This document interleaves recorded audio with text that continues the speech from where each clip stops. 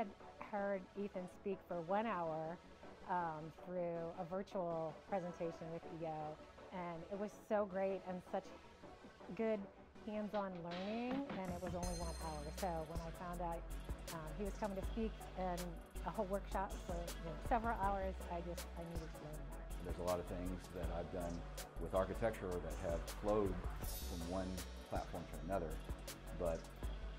only on a small scale versus what I was able to see today. I've been in EO for six years, man, and there's very few that really impact like this workshop has impacted. Number one, love a workshop over a speaker or a lecture because then there's a lot of bullet points that you have to take away.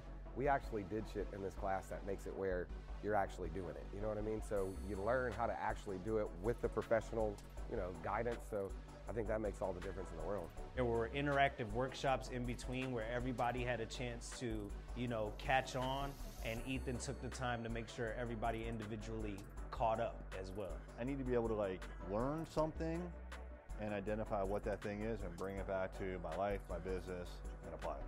And that's what we got. So he actually uncovered a lot of a lot of tools that I didn't even know were there. It did not meet my expectations. It exceeded my expectations.